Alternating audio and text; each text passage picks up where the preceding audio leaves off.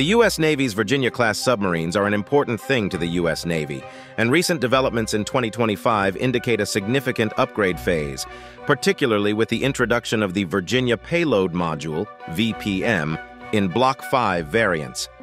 The Virginia-class, also known as the SSN 774 class, consists of nuclear-powered fast-attack submarines designed to replace the older Los Angeles-class submarines. They are built in blocks, each with incremental improvements. As of April 13, 2025, the class includes Blocks 1 through 5, with Blocks 6 and 7 planned for future procurement.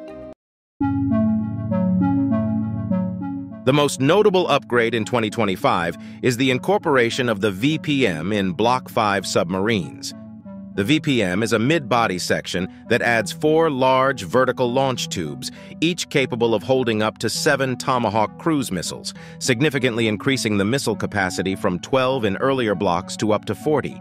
This enhancement triples the shore target capacity. This not only boosts missile capacity but also allows for other payloads, such as unmanned underwater vehicles, enhancing the submarine's versatility in seabed warfare operations, a role increasingly vital given recent underwater incidents.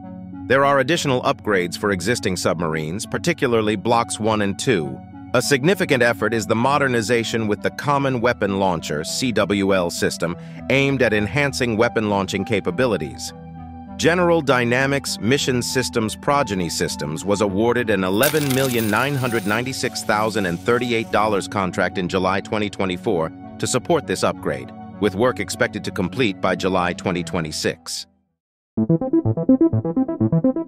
Additionally, the submarines have an open system architecture, OSA, enabling regular hardware and software updates. Hardware upgrades, dubbed technology insertions, occur every four years, while software updates, known as advanced processor builds, happen every two years. The upgrade efforts are occurring amidst challenges in production rates. Recent reports indicate the Navy aims to deliver at least two Virginia-class submarines annually, with efforts to upgrade shipyard facilities and streamline supply chains. The fiscal year 2025 budget requested funding for one submarine, including advanced procurement materials reflecting industry capacity constraints. Looking ahead, according to USNI News, Block 6 is planned with five submarines, focusing on improved stealth, enhanced sonar performance with a new bow conformal array, and seabed warfare capabilities, with procurement from fiscal year 2024 to 2028.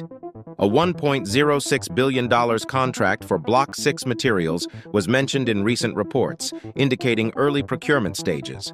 This suggests future upgrades will continue to build on the VPM and other enhancements.